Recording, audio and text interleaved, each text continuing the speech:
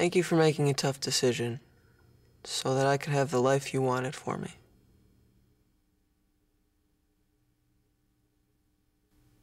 Remember, you have options. Call the Cradle Adoption Services.